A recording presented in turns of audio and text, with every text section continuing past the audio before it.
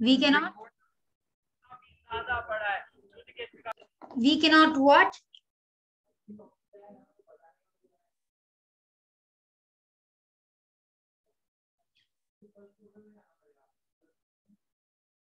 okay. I can't hear you all. Uh, so good evening. Let's start. So we are starting chapter number five chapter number five, five. chapter name gravitation. Gravitation was first discovered by sir isaac newton. He said every object is attracted to center of the earth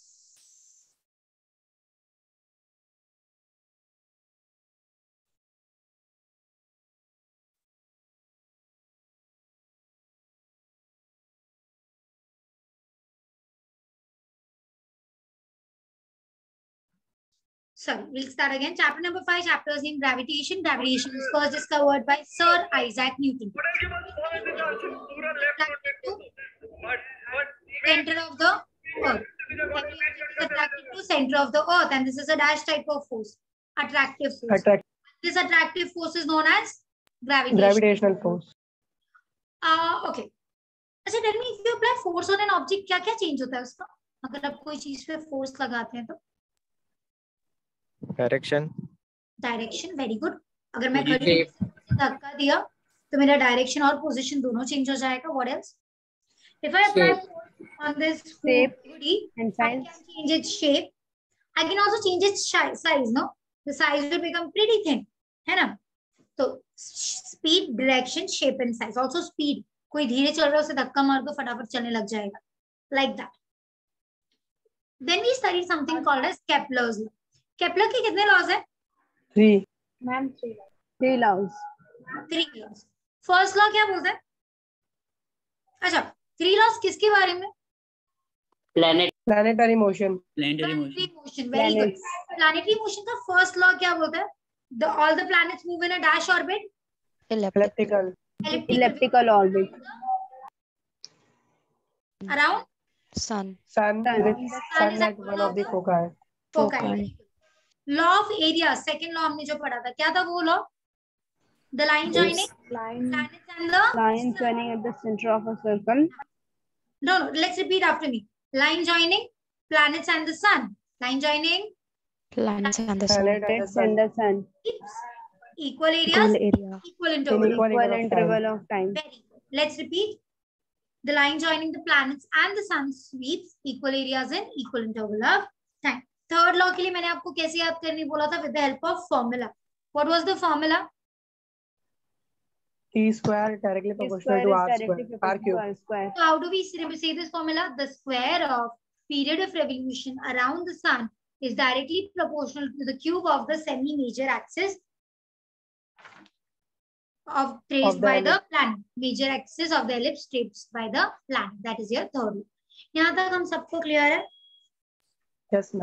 yes yes हम लोगों ने last universal law of gravitation पढ़ा ठीक है? चलो trying going to try and explain it to me what does it mean चलो कोशिश करो। Come on Priyanshi? प्रियांशी? ये प्रियांशी का वीडियो या इमेज है? स्मार्ट किड्स वाला है ना इमेज लगा के रखी है आपने। थिंकिंग वीडियो चालू है। लेट्स अच्छा Priyanshi is there Priyanshi can you hear me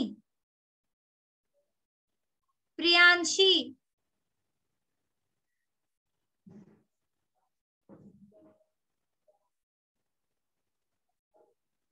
Okay Priyanshi can't hear me Rucha Rucha? Tenth standard पढ़ाई की थी बेटा की थी very good good kids online पढ़ाई की थी ना आप लोगों ने बता क्या था कुछ ग्रेविटेशन लॉ क्या था universal law of gravitation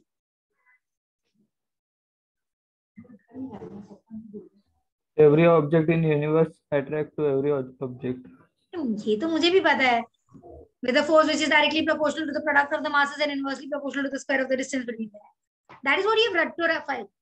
I am asking, what does it mean? Come on. See, I don't want to rectify. I don't want you all to rectify anymore. I mean, you have to, of course. But चलो समझने की भी कोशिश करते हैं ना थोड़ा सा समझ मैम हम्म बोल बोल बेटा बोल ना बोलो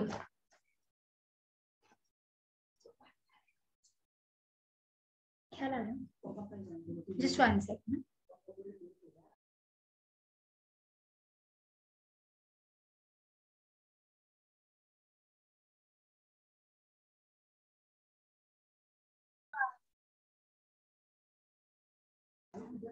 ओके बोलो बोलो बेटा एनीवन वाज सम एनीवन यार कम ऑन ग्रेविटेशन इतना 10 स्टैंडर्ड पढ़े हो। कितना परसेंट आया? 96 95 आया ना ऑनलाइन में तुम लोगों का विदाउट एग्ज़ाम्स फिर इतने स्मार्ट किड्स हो विदाउट एग्ज़ाम इतना लाया है परसेंट आपने। बताओ। मनीष बोल बोल तब से मैम बोल Ma'am, universal gravitational constant is the value which is same at every place. Okay, good. You explained me the constant. Good. 6.673 into 10 raised to minus 11 Newton meter square per kg square जिसकी value है। तो मेरे को अभी भी कोई मतलब नहीं बता रहा है। रोहन ट्राई करेगा?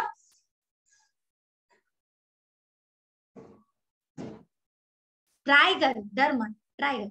बुक वुक लेके बैठ गया तू रीड मत कर। तो सिर्फ़ ग्रेविटेशन का लॉ पढ़ा था कुछ तो याद होगा। बोल। अनम्यूट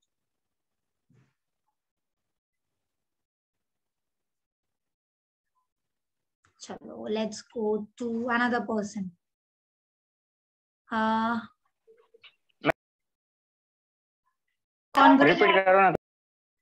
मेरा क्वेश्चन है gravity universal law of gravitation explain कीजिए। अमित अमित ट्राई करेगा?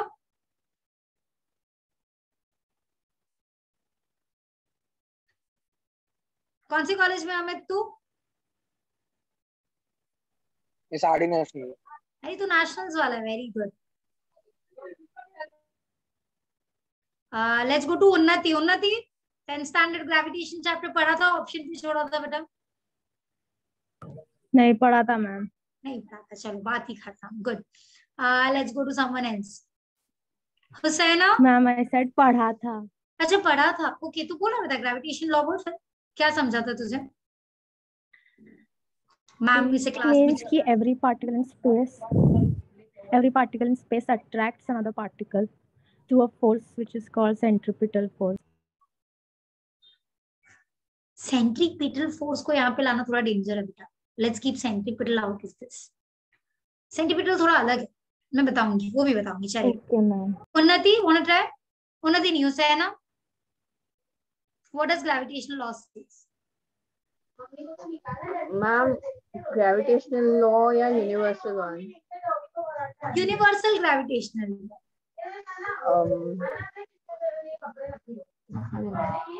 each particle in the universe attracts every other object that I understood ये सबने बोल दिया। When object release when objects are release they gets attracted to each other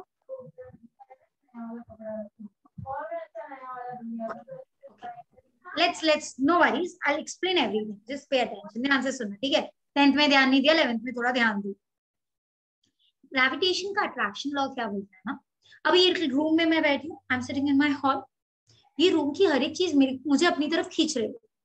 ये laptop है, ये laptop मुझे अपनी तरफ़, जैसे मैग्नेट एक दूसरे को अपनी तरफ़ खींचते हैं ना वैसे है ना? स्क्रीन पे ध्यान। हाँ। सो जैसे मैग्नेट्स एक दूसरे को अपनी तरफ़ अट्रैक्ट करते हैं हर एक चीज़ दुनिया में, हर दूसरी चीज़ को अट्रैक्ट कर रही है। That means you know what that means that this laptop is attracting me towards itself this stylus is attracting me towards itself this fan is attracting me towards itself every person in this room is attracting me, trying to pull me towards themselves. At the same time, even i am trying to do the same thing. मेरी body भी हर एक चीज़ को अपनी तरफ़ खींचने की कोशिश हो रही है। तो मुझे एक स्टूडेंट ने पूछा कि अगर आप ऐसा बोल रहे हो तो मुझे एक बात बताओ। इस हिसाब से तो पूरी दुनिया को एक साथ ऐसे चिपक जाना चाहिए था right everything should have combined है ना सारा? हाँ ऐसा होना चाहिए था ना कि पूरी दुनिया की चीज़ें आपस में एक दूसरे को चिपक जाए। बट ऐसा होता है क्या? नहीं वी ऑल आर सेपरेटेड तो व्हाई इज़ दिस क्योंकि आप लोगों को अगर याद हो मैंने आपको लिखवाया भी है।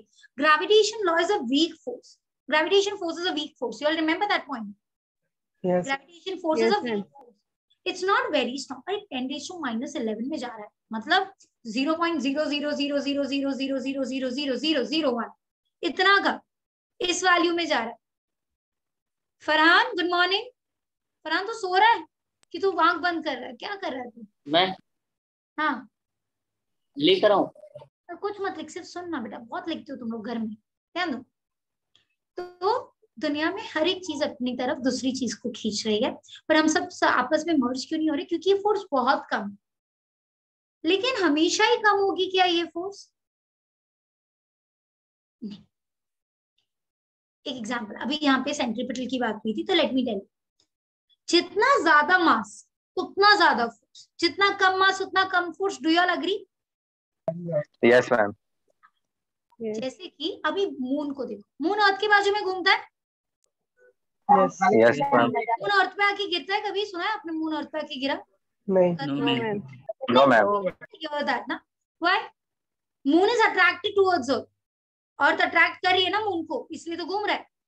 तो इसको समझाने के लिए एक्सपेरिमेंट है ध्यान से सुनना।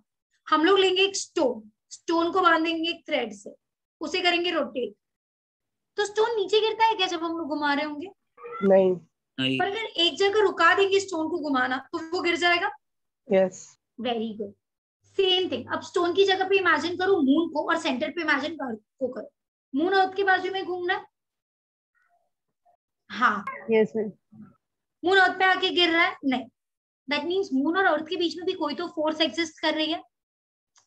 अच्छा स्टोन को जब मैं घुमा रही थी तो वो थ्रेड दे रहा था उसको फोर्स तो वैसे ही अर्थ से मून पर भी एक हमने धागा बाँध के रखा है जिसकी वजह से मून हमारे बाजू में घूमता है राइट है ना? और पे से हमने एक बड़ी सी रस्सी बांधी है मून पे। Yes, तो मून उसको हम मून को हमारे आजू बाजू घुमा रहे एम आई राइट यस और नो Yes. वेरी गुड कहाँ पे मून पे रस्सी जाती बताना मुझे जरा? कहाँ से बांधी? किसने बांधी है रस्सी मून को? You're just saying yes. That's why I asked. If I teach anything nonsense, you'll keep saying yes, yes, ma'am. रस्सी बांधी तो है मैं नहीं तो बांधी है जाके। नहीं बांधी किसी ने। तो मून अर्थ के बाजू में घूम क्यों रहा है? That is my question you are saying yes see listen I am going to tell a lot of wrong things in between let's see if you are answering it properly ठीक है? हाँ अभी वो करते हैं तो आप लोग थोड़ा जागेंगे तो माय क्वेश्चन वाज अगर रस्सी नहीं है तो मून अर्थ के बाजू में कैसे घूम? बिकॉज़ ग्रेविटेशन के गुड गुड फरहान गुड क्योंकि ग्रेविटी है। तो ग्रेविटी की वजह से क्या हो रहा है? वो गोल घूम रही अब सोचो अगर एक दिन ग्रेविटी खत्म हो गई अचानक तो क्या होगा? दूर चल जाएगा।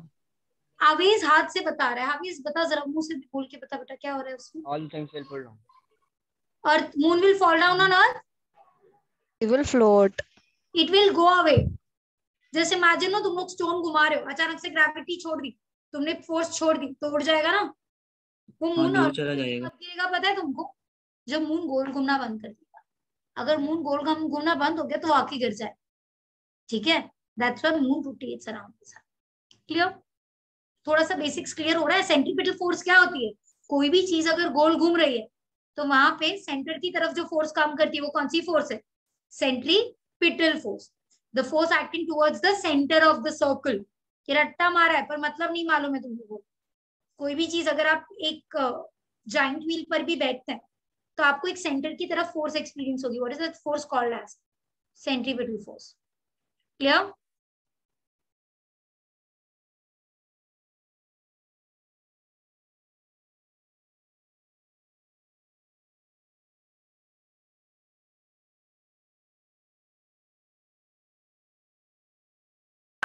Ma'am, not able to hear you.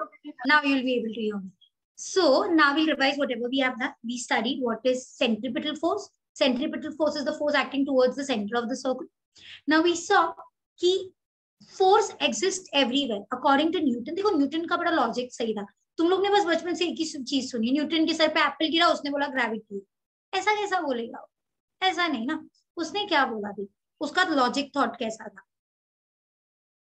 उसका थॉट ऑफ़ लॉजिक ये था उसने देखा एप्पल नीचे गिरा उसने बोला अच्छा एप्पल मेरे सर पे आके गिरा ओके पहला क्वेश्चन एप्पल नीचे क्यों गिरा? एप्पल उड़ना चाहिए था। बराबर? दूसरा क्वेश्चन अगर एप्पल गिरा तो ये तो मून भी तो आजू बाजू में घूम रहा है हमारा। मून आगे क्यों नहीं गिरता? सेकेंड क्वेश्चन थर्ड क्वेश्चन अगर हम लोग सन के बाजू में घूम रहे हैं तो हम सन पे जाके क्यों नहीं गिर रहे? लॉजिक था ना? ग्रेविटी तो सब में होनी चाहिए। सो देर यही नहीं कि सिर्फ़ एप्पल गिरा ग्रेविटी है there lot of thought of logic ठीक है? Let's go ahead so can I say अगर मास ज़्यादा तो ग्रेविटेशन ज़्यादा फोर्स ज़्यादा? जैसे मून और अर्थ में तुम लोग को दिखता है, पर अर्थ पे नहीं दिखता। तो मुझे किसी ने बोला कि मैं सोचो तो अगर दो ब्लू वेल्स है, जो हज़ारों किलो के हो तो उनमें अट्रैक्शन होना चाहिए ना? क्योंकि उनका वेट आपने बोला, हज़ार। देखो, हज़ार किलो से कुछ नहीं होता, दो हज़ार से भी कुछ नहीं होता। अर्थ का मास किसी को पता है कितना?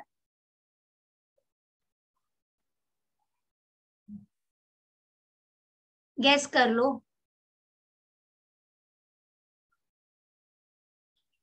था ये था। टेंथ स्टैंडर्ड की बुक फ़र्स्ट चैप्टर ऐसे अच्छे से लिखा था। Six into ten raise to twenty four किसने गूगल किया? Good good good six into ten raise to twenty four kg very good right that's right answer six into ten raise to twenty four kg ten raise to twenty four six के आगे चौबीस zero लगा हुआ उतना ज़्यादा मास है। तो मास जब बहुत ज़्यादा होगा ना तभी ग्रेविटी फोर्स दिखाई देती है। हज़ार दो हज़ार दस हज़ार किलो में भी ग्रेविटी हमें दिखाई नहीं देगी। ग्रेविटेशनल फोर्स हमको दिखाई नहीं देगा। होगा पर दिखाई नहीं देगा। क्लियर है? तो मास ज़्यादा तो फोर्स ज़्यादा। मास कम तो फोर्स भी कम। Agree with the first statement everyone yes what proportion is this? mass कम फोर्स कम मास ज़्यादा फोर्स ज़्यादा। Directly Directly proportional. Just one second हाँ हाँ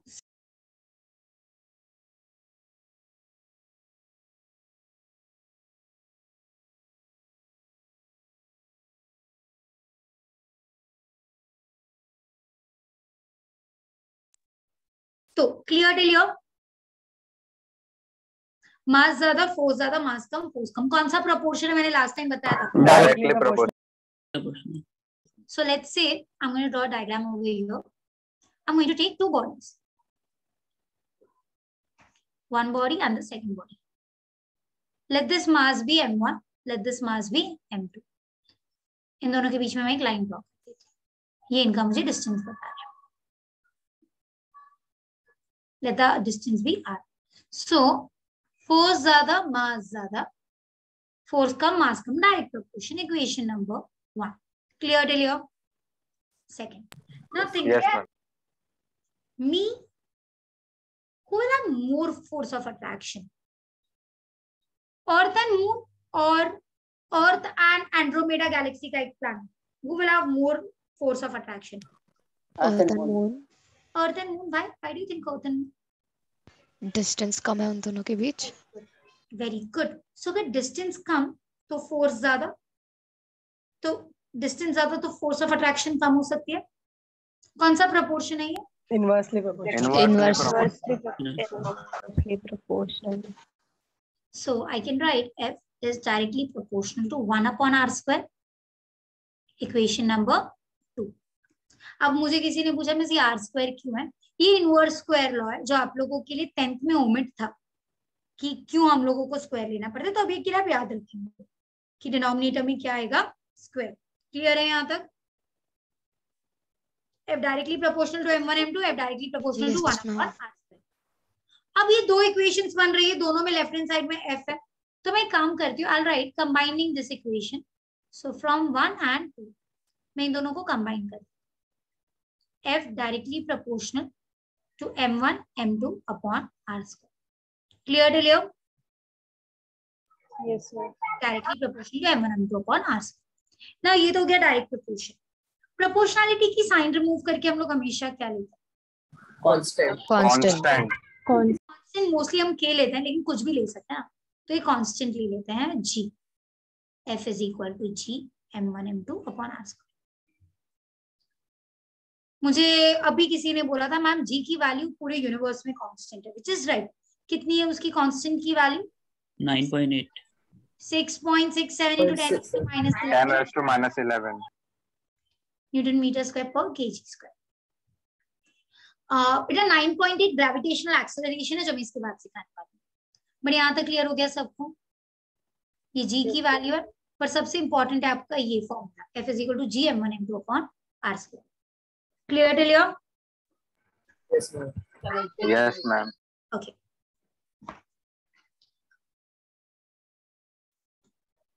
Anything else you want to ask about this, or should I go ahead?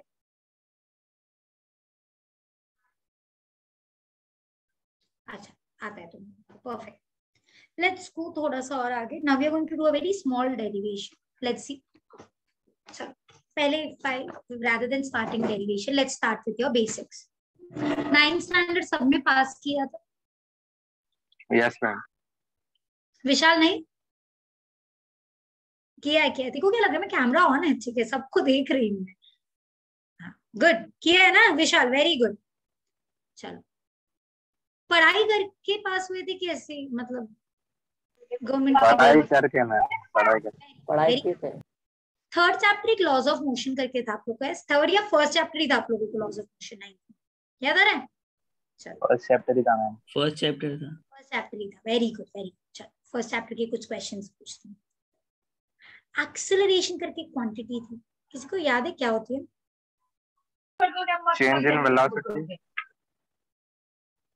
change in speed upon time है। ना? ये होता है एक्सेलरेशन इसका मतलब बताओ मेरे को। मैम जब भी स्पीड चेंज होगा या फिर डायरेक्शन चेंज होगा तो वो एक्सेलरेशन कहलाएगा। Very good Saurabh very good basically आप लोगों की जो स्कूटी होती है स्कूटी में भी आपको पता है कि एक्सेलरेटर होता है? वो स्पीड चेंज करने के लिए होता है है ना? अभी तुम सबको मैं ऊपर एक पहाड़ के लेके तुम लोगों को वहाँ से धक्का मार दिया मैंने। तो क्या होगा? अभी तुम लोग पहाड़ पर ठीक है? I an exam don't worry I won't do this but just an exam पहाड़ पर हो? अभी तुम्हारी स्पीड कितनी है यहाँ पे पहाड़ पे? Zero Zero. आपको धक्का मारा तो स्पीड बढ़ गई? यस श्योर बढ़ेगी ना? स्पीड की उधर ही खड़े रहोगे तुम। यस मैम बढ़ेगी। पढ़ेगी ना? कौन सा एक्सेलरेशन है ये? एक एक्सेलरेशन एक टाइप का? हाँ या ना? Yes.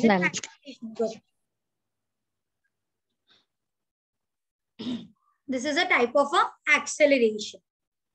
क्योंकि आपकी स्पीड ज़ीरो से बढ़ी है तो पॉजिटिव एक्सेलरेशन एक्सेलरेशन की वैल्यू बढ़ी है।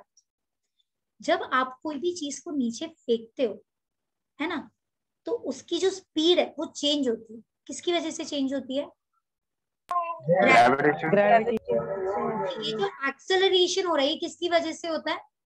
ग्रेविटी ग्रेविटेशन तो इसको क्या बोलेंगे हम लोग? Gravitational acceleration so the change of speed in an object due to earth gravitational field is called as gravitational acceleration clear मतलब सबको समझा? आपको बिल्डिंग के ऊपर लेके गए अगर किसी ने वहाँ से धक्का गलती से दे दिया तो आपकी स्पीड इंक्रीज होगी जैसे जैसे आप गिरेंगे तो कोई पूछेगा, मिस, कितनी इंक्रीज होगी? तो 9.8 मीटर पर सेकेंड स्क्वायर से बढ़ेगी। वो है आपका acceleration clear any doubts clear हम लोगों को अभी तक? नो एक डेरिवेशन कर ले छोटा सा अच्छा ये एक्सेलरेशन की वैल्यू हर जगह अलग होती है। तुम लोगों को मून पे एक बिल्डिंग से धक्का मारूँगा तो तुम लोग धीरे धीरे गिरोगे और फिर धाम गिरोगे। कोई प्लैनेट होगा, उस पर और fast so why will that happen because सबके यहाँ पे स्मॉल जी की वैल्यू अलग है। स्मॉल जी क्या है? एक्सेलरेशन एक्सेलरेशन डिसाइड्स कि आप कितना फास्ट है कितना स्लो नीचे कैपिटल जी तो एक बस वैल्यू है ठीक है? Clear yes any doubts please ask ना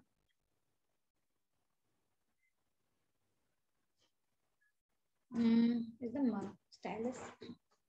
Let's do one very small derivation. If you all don't understand, just let me know. पहले एक बार देख लेते हैं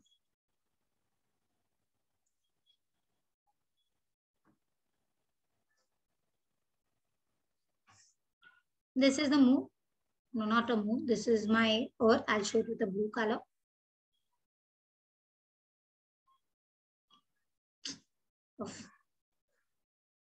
This is the earth and there's moon. Okay moon है ये अर्थ के बाजू में मून अब क्या होगा अगर मैंने आपको बताया ना मून अगर मून अर्थ के बाजू में गोल घूम रहा है कोई भी चीज़ अगर सर्कुलर घूमती है तो वहाँ पे कौन सी फोर्स होती है centripetal centripetal very good good good everyone is paying attention centripetal force का फॉर्मूला हम लोगों ने टेंथ में पढ़ा था M V square upon R ठीक है? पर ये वेलोसिटी है। ये सर्कल में घूम रहा है ना? तो इसको मैं एंगुलर वेलोसिटी भी लिख सकती हूँ। कैसे? एम आर ओमेगा कि तुम लोगों को लॉज ऑफ़ मोशन जब मैं पढ़ाऊँगी उसमें तुम लोगों को ये रिलेशन दूँगी। फ़िलहाल के लिए याद रख लो। एम क्या है? मास आर क्या है? Distance from the center omega क्या है? वेलोसिटी एंगुलर वेलोसिटी क्योंकि वो सर्कल में घूम रहा है ना तो उसका एंगल कितना फटाफट चेंज हो रहा है? Angular velocity. क्लियर है ये? Okay let this be equation number one ये पर सबसे सिंपल फॉर्मूला जो मुझे फोर्स का पता है क्या है? Father is equal to into acceleration equation number two. Clear? So i can write from one and two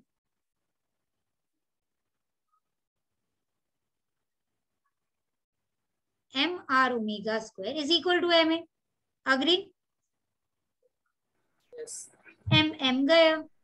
तो a क्या बचा? R omega square therefore a is equal to r omega square clear? Equation number three omega क्या है मेरी? Angular velocity कि एक object अगर circle में घूम रहा है तो उसका एंगल कितना चेंज हो रहा है? That is defined by your angular velocity यहाँ तक clear should I go ahead yes Yes, ma'am. Ma'am first step बता दो मेरे को हाँ कुछ बताता हूँ। देखो एक्चुअली है ना? वेट मैं तुम लोग को थोड़ा डिटेल दे ही देती हूँ। नहीं तुम लोग को आगे भी एंगुलर नहीं है। तो मैं समझा देती हूँ आप लोग को एंगुलर बेसिकली होता क्या? So it would help you आप एक ऑब्जेक्ट है वो सर्कल में घूम रहा है okay object is moving in a circle here is the center. It is moving like this. अगर एक ऑब्जेक्ट स्ट्रेट होता है ए पॉइंट से बी पॉइंट पे जाता तो उसका कुछ तो डिस्प्लेसमेंट होता ना? Yes. Yes, ma'am. अगर अभी सर्कल में घूम रहा है तो समझो ए पॉइंट से बी पॉइंट पे आया तो तुम लोग बोल सकते हो मिस उसका डिस्प्लेसमेंट ये हुआ। हाँ वेट ए से बी पे आ रहा है। तो आप लोग बोल सकते हैं हाँ मिस उसका डिस्प्लेसमेंट तो हमको दिख रहा है ना इट इज़ दिस मच तो ये तो लीनियर डिस्प्लेसमेंट पर उसका एंगल भी कुछ डिस्प्लेस हुआ है ना. Yeah. Is gone from here to here तो ये डिस्प्लेसमेंट को बोलते हैं हम लोग एंगुलर डिस्प्लेसमेंट इन दोनों के ये लीनियर डिस्प्लेसमेंट एस होती है या एंगुलर डिस्प्लेसमेंट ये आर इसका रेडियस है। तो फॉर्मूला होता है S is equal to R theta ठीक है भाई theta is your angular displacement अब वैसे ही जब ये मूव हो रहा है तो इसकी कुछ वेलोसिटी भी होगी वी पर वो एंगल Yes, की वेलोसिटी होगी ओमेगा लेंगे जिसको हम लोग। तो आप बोलोगे मिस उन दोनों के बीच में क्या रिलेशन है? V is equal to R omega clear है? अब तुम लोगों को मैंने एक्सेलरेशन सेंट्रीपिटल फोर्स का फॉर्मूला क्या बोला? F is equal to V mv square upon r. Mv square upon r. पर वी की वैल्यू क्या है? R omega m R omega square upon R और आप इसको लिख सकते हो m r square omega square upon r where r r will get cancelled and you're left with m r omega square. Clear? Yes ma'am. तो वहाँ से मुझे ये फॉर्मूला है। अभी समझा? तो तुम लोग फ़िलहाल के लिए डायरेक्ट याद रखो। एक्चुअली ये अभी भी नहीं है। ये तुम लोगों को I think is there directly in twelfth twelfth में आप लोग को सर्कुलर मोशन या रोटेशनल मोशन करके चैप्टर है रोटेशनल मोशन और उसमें ये डायरेक्टली दिया गया clear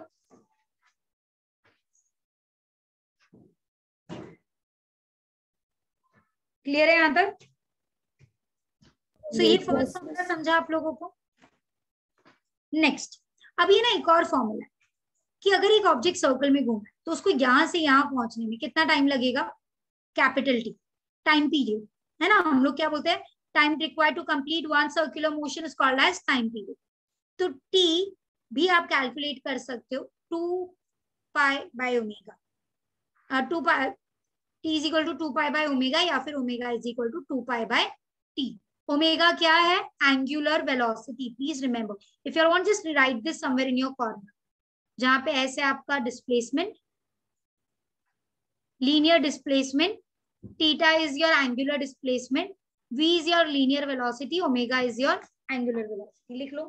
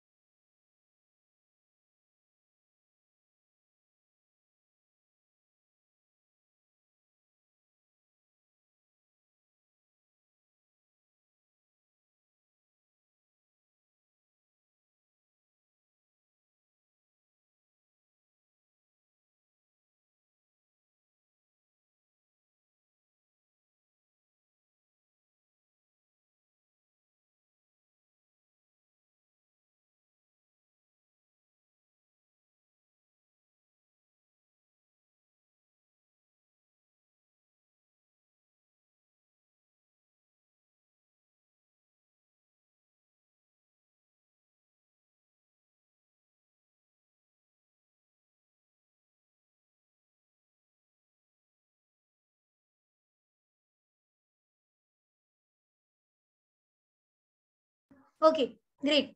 Next part. So coming back here, A is equal to R omega square. Now, omega is equal to 2 pi by t. This is one of the equations we have.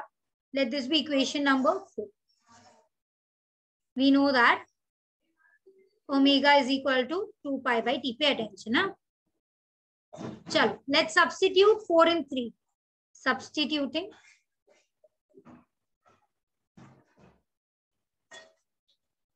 Four in three.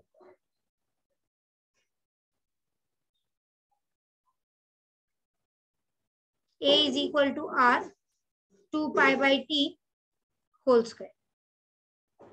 2 2s are 4. Pi square by T square. 4 pi square are T square.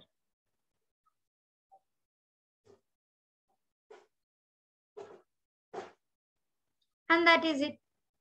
Clear यहाँ तक? अब आप लोग एक काम कर सकते you can find this value very simply अगर आपको मून अच्छा यहाँ तक समझ में आ गया फर्स्टली आपको? Firstly tell me that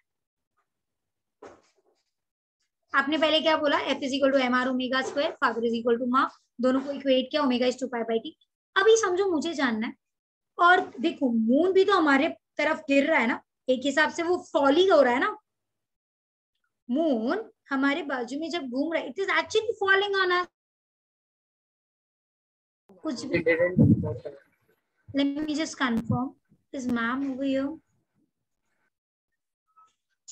ma'am it's still 8:30 it's still 8:30 ना? हाँ। 8:30 तक है। ये लोग 7:40 बोल रहे थे। No, ma'am, don't अच्छा, listen अच्छा, to them. They are saying 7:40 is the current time now. Okay, nice. Nice save early चलो ah okay. Going ahead. Moon earth के ऊपर गिर रहा है। नहीं पर वो मून अर्थ की तरफ़ एक्सेलरेट तो हो रहा है ना। मून उसको अर्थ की तो कोशिश कर रहा है। तो अब मुझे जानना है कि उस पर एक्सेलरेशन कितना हो रहा है हमारा एक्सेलरेशन की वैल्यू मुझे कैलकुलेट करनी है। How can I calculate the acceleration का value simple I substitute all the values for moon तो मून के लिए क्या क्या वैल्यूज़ है? Let's see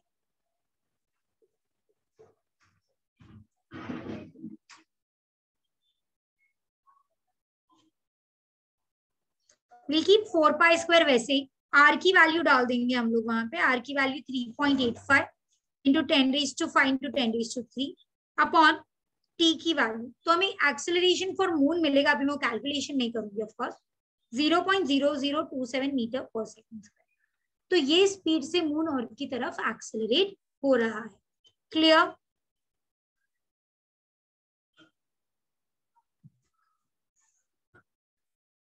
अभी क्लियर टिलियो Yes, ma'am. Yes, okay. ma'am. Let's go ahead.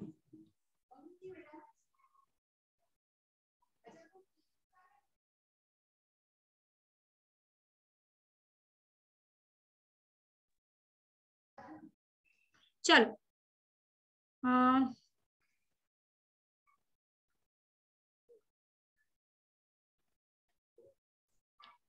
this is the acceleration of the moon.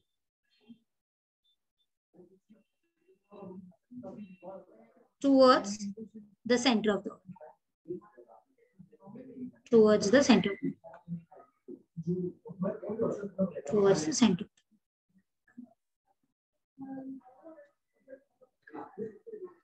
uh, so just write that in uh,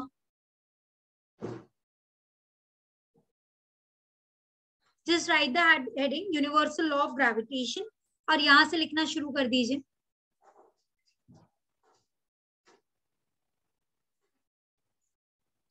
for move ये universal of gravitation heading डालिए और यहाँ से copy करना शुरू कीजिए।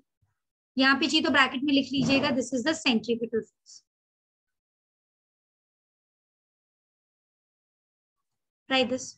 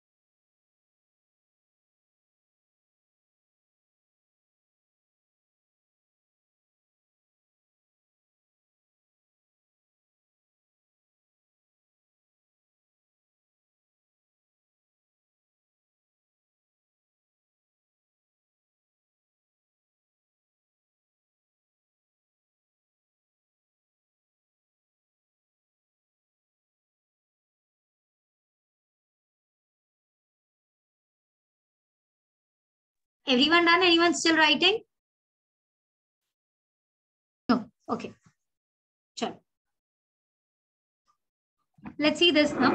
अभी एक्सेलरेशन ऑफ़ ऑब्जेक्ट कितना है? हमें एक्सेलरेशन ऑफ़ ऑब्जेक्ट कितना आया? मून पे कितना है एक्सेलरेशन 0.0027 अच्छा अर्थ पे एक्सेलरेशन कितना होता है? अगर कोई भी ऑब्जेक्ट गिरता है तो? 9.8 metre per second 9.8 metre per second square और अभी एक्सेलरेशन मून का कितना हो रहा है अर्थ पे? 0.007 मीटर वेरी गुड ये तो अगर मैं इसको सॉल्व करूँगी तो मुझे अप्रोक्सीमेटली इसका आंसर आता है थ्री सिक्स ज़ीरो ज़ीरो बराबर? इसका अप्रोक्सीमेटली आंसर कितना आता है?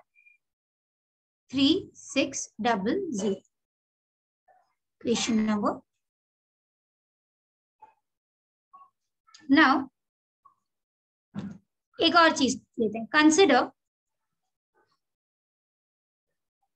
distance of moon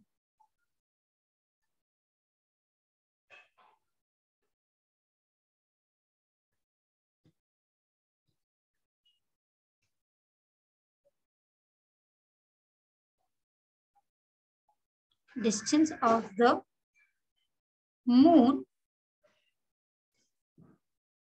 from the earth surface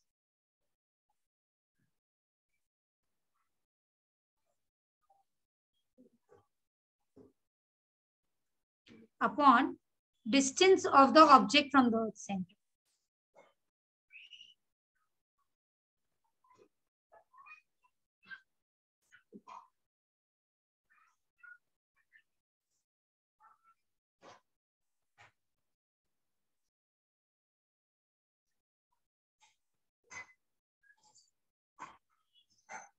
See, this is a bit theoretical part, so please pay attention.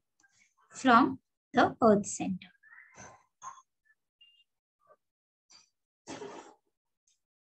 Okay distance of moon कितना होता है ये आपको याद रखना पड़ेगा 3.85 point eight five to ten to five kilometre आप लोगों को अगर याद हो आपने टेंथ स्टैंडर्ड में पढ़ा था अर्थ का रेडियस होता है 6.4 point four into ten to six kilometre ten to six metre which you can write 6.4 point four into ten raise to three kilometres है ना? मीटर में किलोमीटर में कन्वर्ट कर दिया मैंने इसको। लेकिन ये 6.4 एग्जैक्ट वैल्यू ऑफ़ कोर्स थी, नहीं, वो अप्रोक्सीमेट थी। तो एग्जैक्ट वैल्यू कितनी है अर्थ के सरफेस से? It is somewhat 6378 kilometres 6378 kilometres आप इसको सॉल्व करोगे of course you are suppose to not solve you suppose to remember this इतना सॉल्व करोगे ना बेटा तो आप लोग का पेपर रह जाएगा। ये आ जाता है आपका 60 60 तुमको आया डिस्टेंस और एक्सेलरेशन आया 3600 कोई रिलेशन लग रहा है क्या आप लोगों को इन दोनों में वैल्यूज़ में? ये वैल्यू और ये वैल्यू सोचो। Think you feel there's a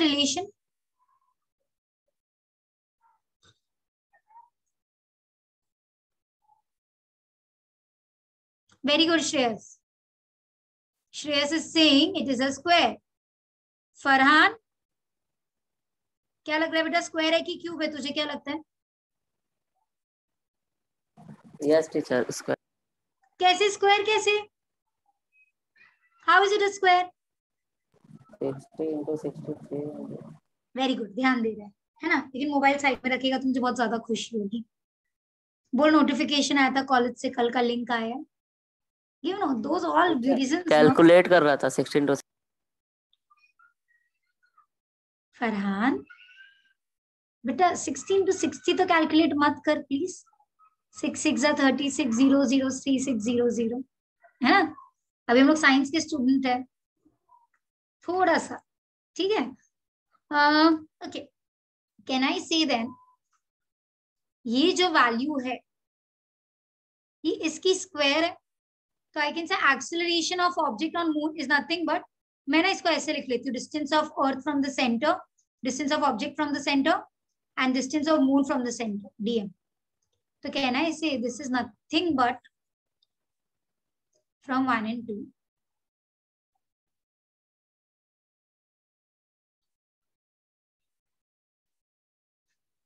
from one and two acceleration of the object divided by acceleration on the moon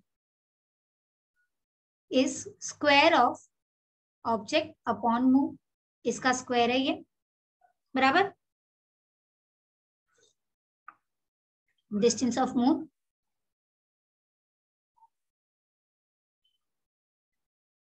upon distance of object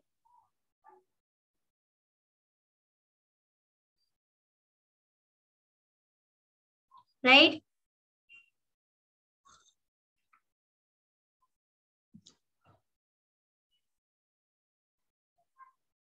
This is wrong given in your textbook. Textbook में mistake है, जरा देख लेना। Page number 81 पे distance of अच्छा नहीं right ही मैं रॉन्ग पढ़ रही थी। Distance of moon upon this is right this is right distance of moon upon distance of object का स्क्वायर इससे क्या पता चलता है पता है आपको? देखो ऑब्जेक्ट ऊपर था यहाँ पे ऑब्जेक्ट नीचे। तो ये इनवर्स है। Can I say acceleration is inversely proportional to radius का square Yes. Yes, ma'am. now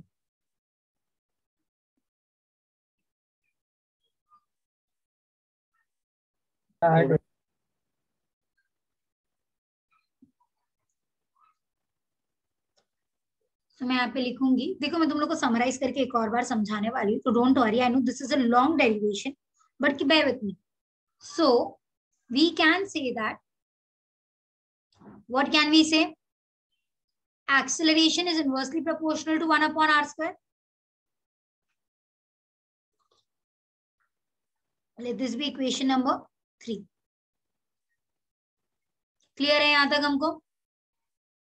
अब father is equal to ma? We have f is equal to ma father is equal to ma. If f is equal to ma मैं acceleration की जगह पे ऐसे लिख सकती हूँ। देखो, ये मुझे पता है F is directly proportional to M ऐसा भी है फॉर्मूला अगर आप लोग ने नाइन्थ में ध्यान दिया होगा सेकेंड लॉ में दिया था। फोर्स मास ज़्यादा तो फोर्स ज़्यादा एक्सेलरेशन ज़्यादा तो फोर्स ज़्यादा। पर एक्सेलरेशन की जगह पे मैं वन अपॉन आर स्क्वायर लिख सकती हूँ प्रोपोर्शनैलिटी के लिए। है ना? तो ये तो एक ऑब्जेक्ट के लिए हुआ। समझो, एक और दूसरा ऑब्जेक्ट लेती हूँ। तो उसके लिए क्या हो जाएगा? This is the from two ये मुझे मिल गया from three let this be equation number so this is the force mass ज़्यादा तो फोर्स ज़्यादा डिस्टेंस कम तो फोर्स कम डिस्टेंस कम तो फोर्स ज़्यादा next similarly an object also exerts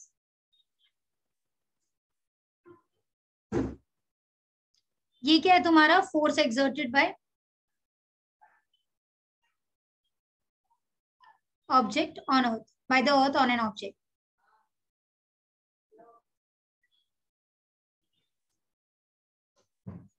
तो अगर कोई भी ऑब्जेक्ट और किसी पे अगर फोर्स लगाएगा तो वो ऑब्जेक्ट भी अर्थ पे फोर्स लगाएगा so similarly an object also exerts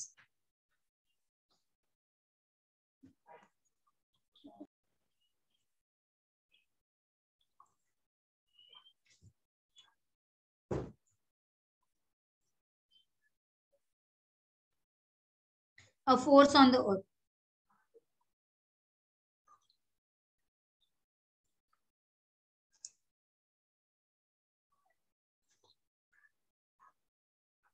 which is given Fe is equal to capital mass that is mass of the earth divided by r square. Question number 5. Combining 4 and 5. From 4 and 5. we can write?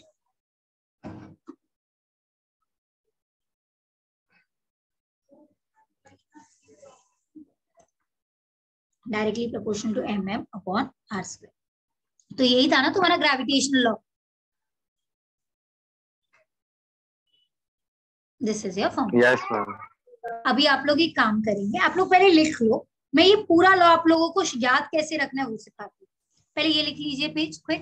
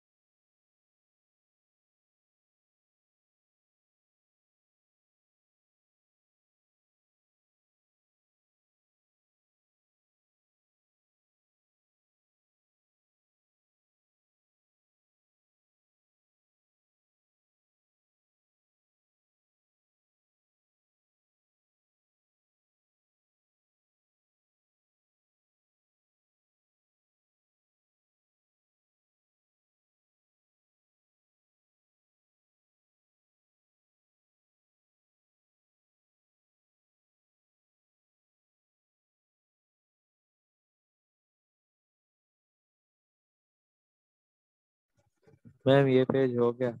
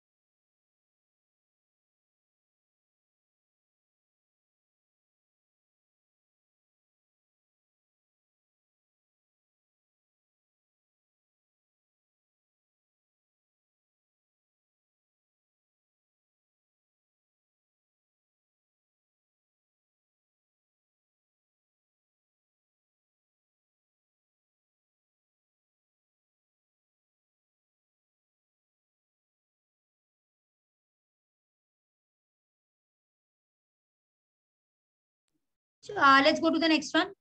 Do this.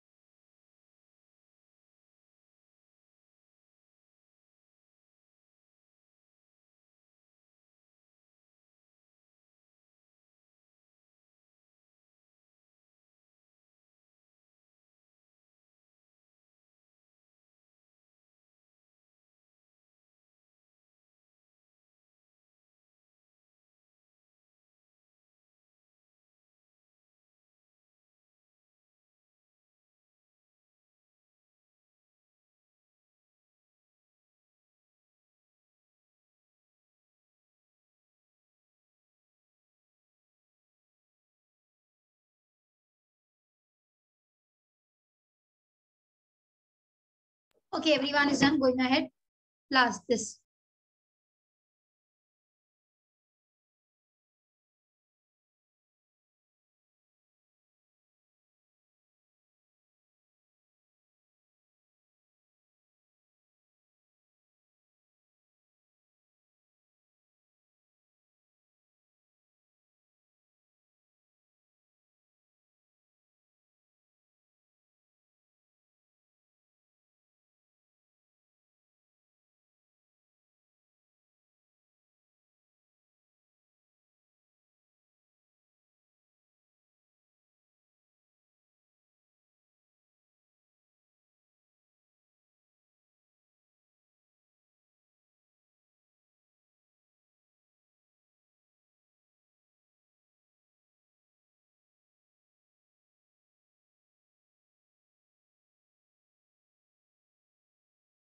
चलो ना let me try and explain you what this exactly is एक बार वापस से देख लेते quickly तरीके से है ना?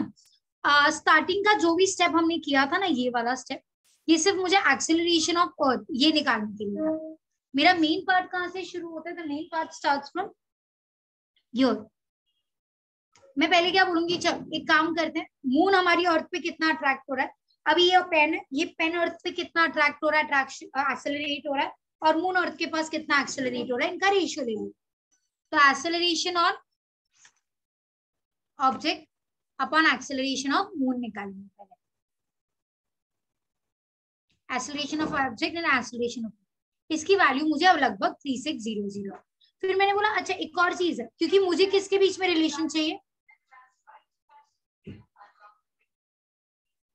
मुझे रिलेशन किसके बीच में चाहिए? एक्सेलरेशन और डिस्टेंस के बीच में। तो let's talk about the distance as अब मैंने देखा कि अगर मैं distance of object from earth लू, या distance of moon from earth लू,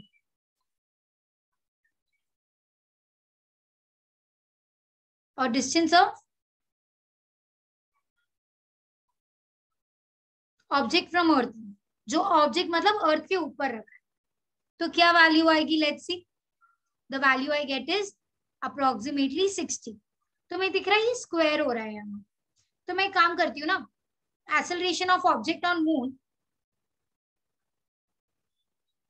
upon acceleration of object upon acceleration of moon इसको कितना आया मुझे ये value three six zero zero पर three six zero zero is nothing but sixty का स्क्वायर बट सिक्सटी की सिक्सटी की वैल्यू किसकी आई है मेरी? ये वैल्यू तो मैं वो लिख लेती हूँ सिक्सटी की जगह पे स्क्वायर के अंदर। Distance of moon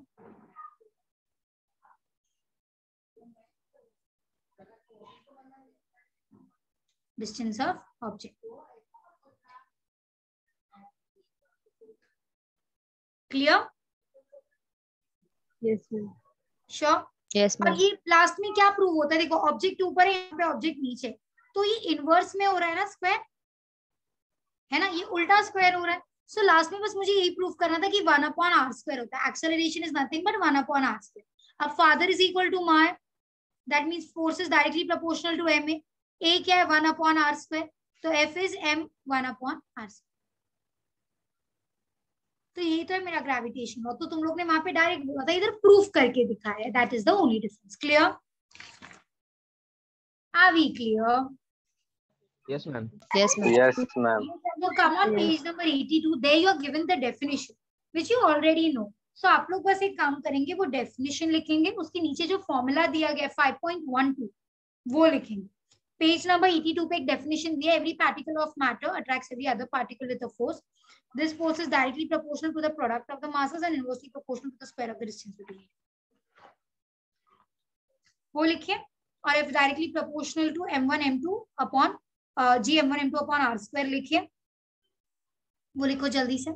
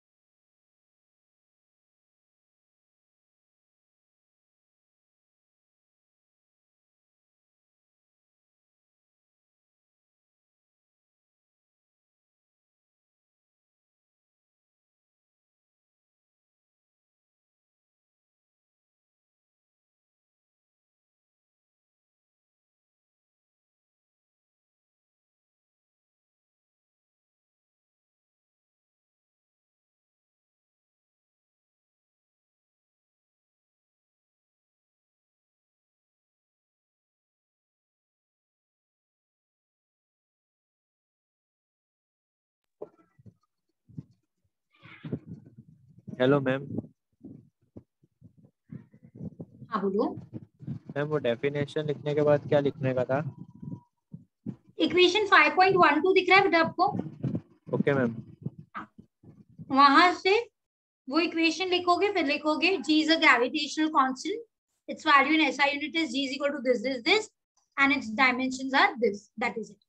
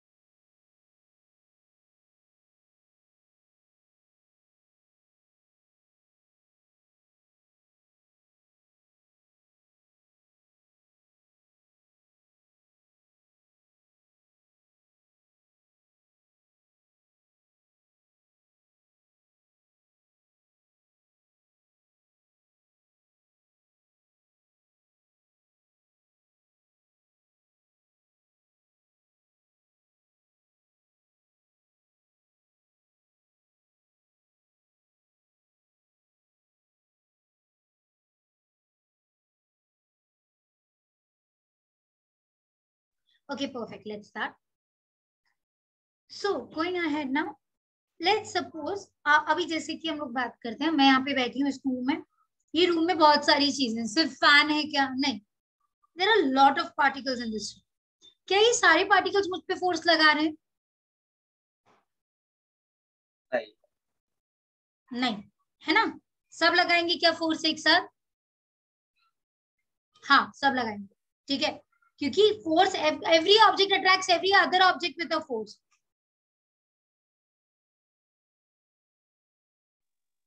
mic off है मैम सही so every object in this room is attracting तो आप बोलोगे तो मैं समझा आप पे एक टू न्यूटन फोर्स लगा रहे एक थ्री लगा रहे एक फोर लगा रहे. तो आप पे टोटल कितनी काम कर रही होगी? एक टू एक थ्री एक four what is the total force acting हुई हो सो डायरेक्शन पे डिपेंड करेगा। सपोज़ सब लोग वेक्टर से स्ट्रेट लाइन में मेरी तरफ़ आ रहे तो टू थ्री फोर टोटल कितना हो जाएगा? नाइन नाइन न्यूटन फोर्स का ऐसा यूनिट क्या है? न्यूटन वेरी गुड अभी बार बार बोल रही याद रखो। ऐसा यूनिट न्यूटन याद नहीं रहता कहीं बुक में लिख लो शांति से। पता चला ट्वेल्थ पास हो गया और फोर्स का ऐसा यूनिट ही नहीं मालूम। लिखो फोर्स का ऐसा यूनिट न्यूटन सीजीएस यूनिट क्या है फोर्स का?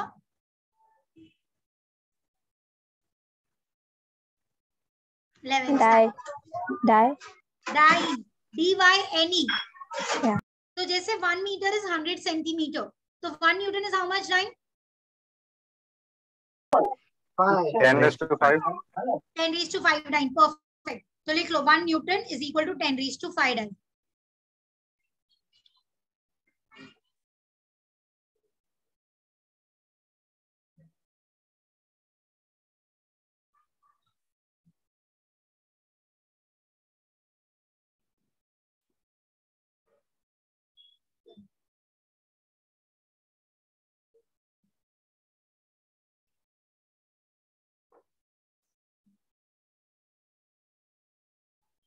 clear है यहाँ तक हमें? So let's see if I show you all diagram I will show you diagram net three object let's m one है मास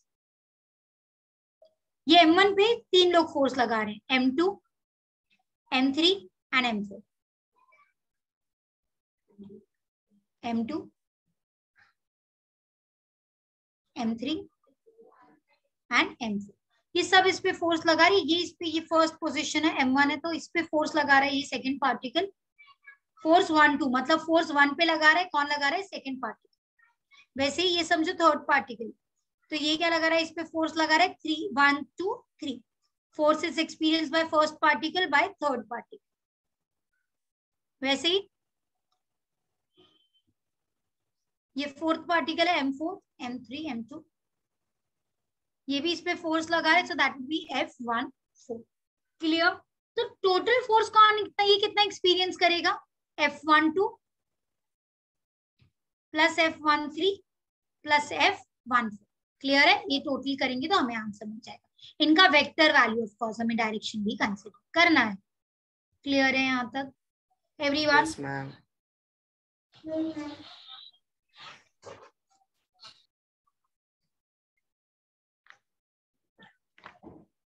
so next lecture what we are going to do is हम लोग capital जी की value calculate करने वाले हैं। Small जी की value कैसे vary होती है, वो देखने वाले हैं।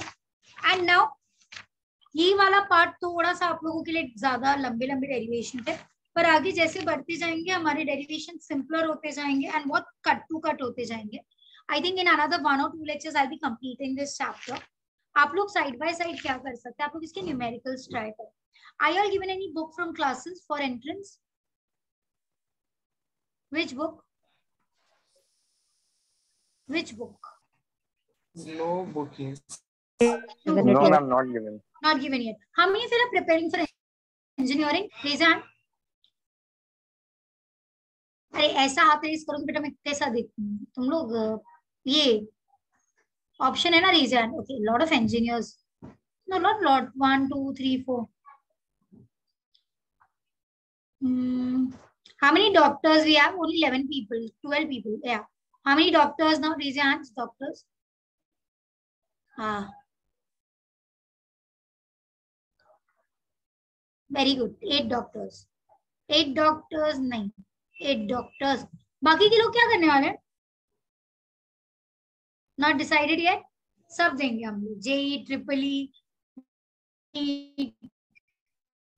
सीटी जिसमें लग गया है ना है आप लोगों को क्या करना है ना अभी? If you are actually preparing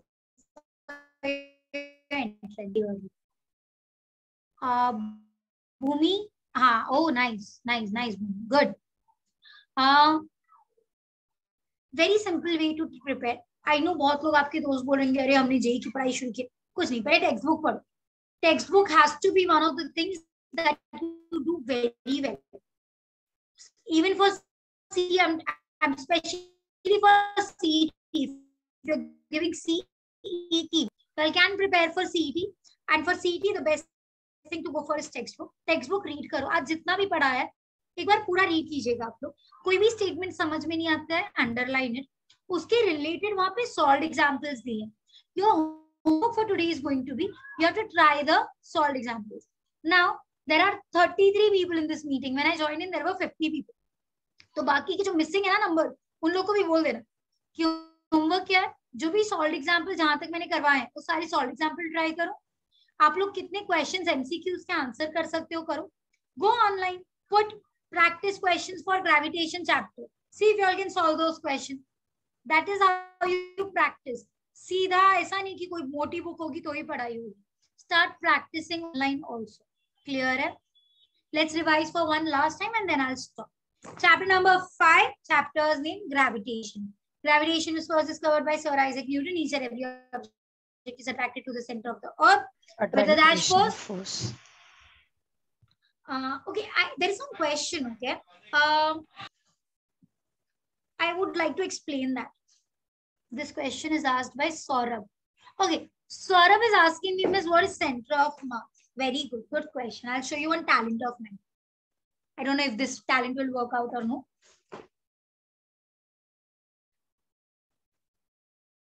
I hope so this works. Can you see this is handled? I am holding this on one finger. Right? बेटा अगर मैं इसको इधर रखूँ और होल्ड करूँ तो वन फिंगर पे ये पॉइंट पे होगा नहीं I have to come over your no क्यों क्योंकि इस पूरी बुक का मास इस पॉइंट पर कॉन्सेंट्रेटेड है इस पॉइंट पर क्या है concentrated this is called as it is assumed to be concentrated actually not concentrated i have another x-ray file with me so if i have this big file this is rectangular in shape if you can see this is rectangular in shape if i hold it like this i have to come somewhere at the center geometrical center के नज़दीक में मुझे कहीं मिलेगा जहाँ पे मैं पूरे ऑब्जेक्ट को वो कर सकती हूँ बैलेंस हम लोग जब बचपन में फुटबॉल खेलते थे बास्केटबॉल खेलते थे तो उसको भी हम लोग एक फिंगर पे बैलेंस करते थे है ना? व्हाट डज दिस मीन्स कि उसका पूरा मास उस पॉइंट पे अज्यूम टू बी कॉन्सेंट्रेटेड है।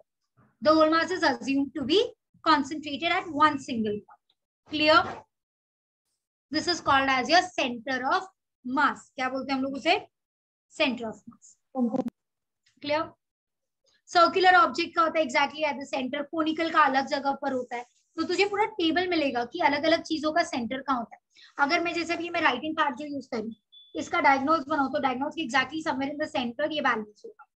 ओके कोई भी पॉइंट पर नहीं होगा एट द सेंटर यूनिफॉर्म में स्पेशल समझा बेटा? सेंटर ऑफ़ मास ओके या Kepler law what are Kepler law Kepler give law about planetary motion planetary motion के कितने लॉज दिए इसने थ्री पहला the orbit of planet is elliptical around the sun and हाँ is elliptical around the sun and the sun is at one of the foci. Second law, the line joining the planets and the sun sweeps equal areas in equal interval of time. Third law, the square of the period of revolution is directly proportional to the cube of the semi-major axis of the planet from uh, of the planet's orbit around the sun. Next, हमने पढ़ा gravitational law. Gravitational law क्या है?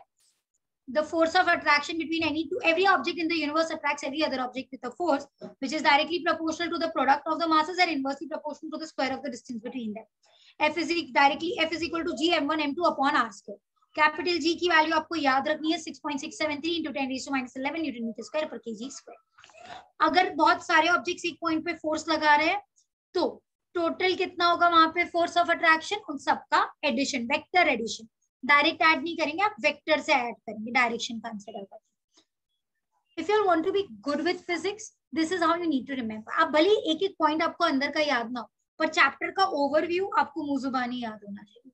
Next lecture में randomly किसी एक को पूछूँगी इसका, मुझे ओवरव्यू देना। क्लियर है? Anything you want to ask? Okay, two people have raised their hands. Let me ask. No one has raised their hand. Ritika bol beta no, ma'am Vishal, quite. Vishal?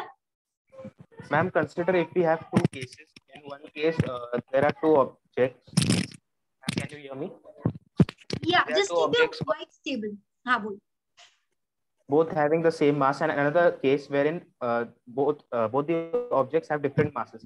So in the in these two cases, uh, the where would be the gravitational force more? Okay. Is the distance same between both of them and at both the points? Let's say it is equal Let's see it is. the distance between them. Tell me, force depends on how many things? Force of gravitation depends on how many things? Two. mass and distance Very good. Mass and distance. Mass ज़्यादा तो force ज़्यादा. Distance कम force कम. तू क्या बोल रहा है? Distance कम force ज़्यादा. You're saying distance तो सेम ही है. तो चल डिस्टेंस कांस्टेंट कर ली. ये सॉल्व करने के दो तरीके एक तो लॉजिकल दूसरा मैथमेटिकल अगर तू मैथमेटिकल करता है तो क्या हो f is equal to g m one m two upon r square बराबर? और ये फ़र्स्ट ऑब्जेक्ट के लिए इसका mass m one m two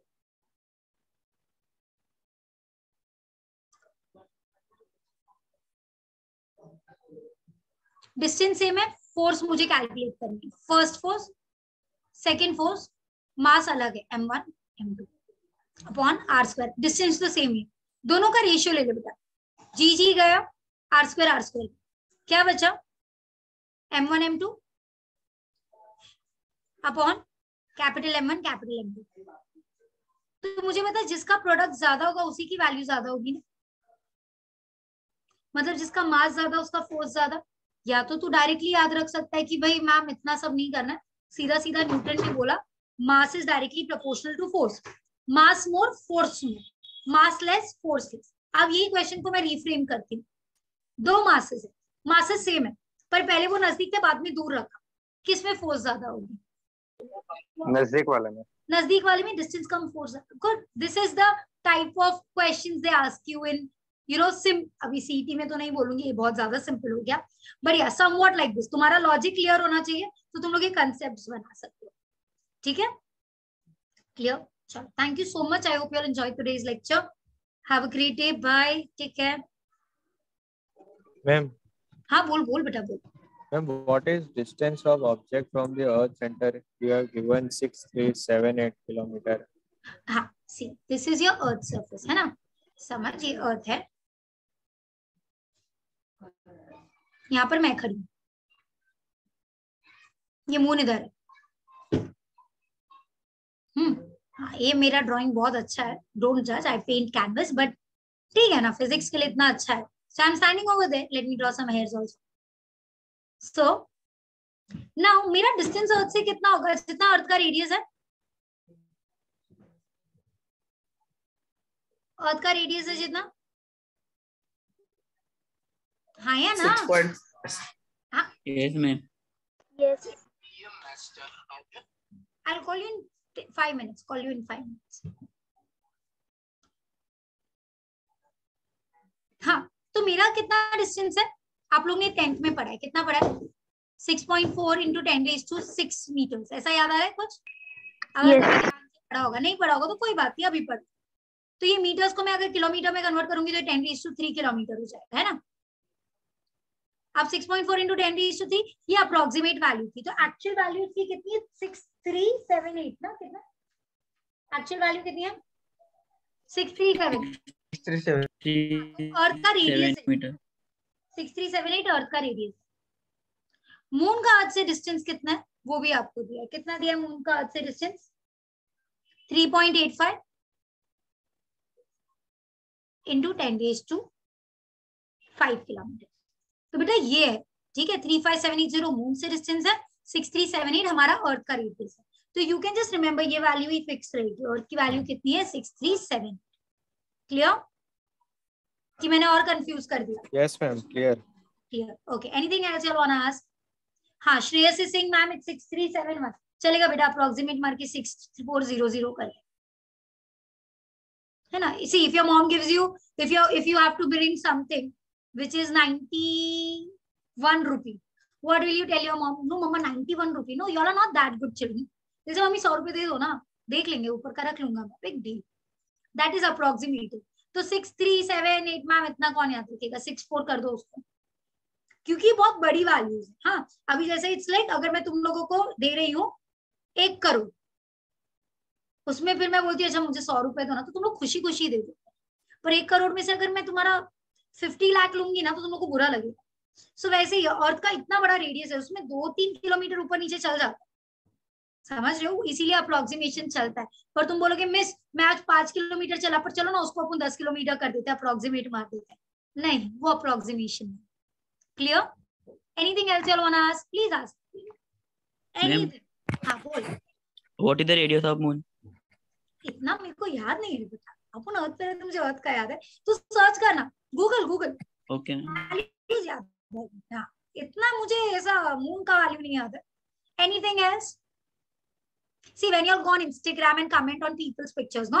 At that time, think चलो थोड़ा Google करके moon का radius निकाल के करो मिलेगा सब मिलेगा Anything else you want to ask? What I expect you all to learn? Earth का radius याद रखना है, Earth का mass याद रखो, Earth की G की value याद रखो, capital G की value याद रखो, ये चार चीज़ें याद रख लीजिए, ठीक है?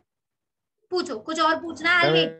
इस चैप्टर में से नहीं थ्योरी डेरिवेशन का मिक्सचर है बेटा इसमें तो अभी आगे जाके थ्योरीज भी आने वाली है बट तुम लोगों को इसीलिए ऐसा लगा क्योंकि थ्योरीज ऑलरेडी तुमने पढ़ी है ठीक है पर yeah there are theory also जो जी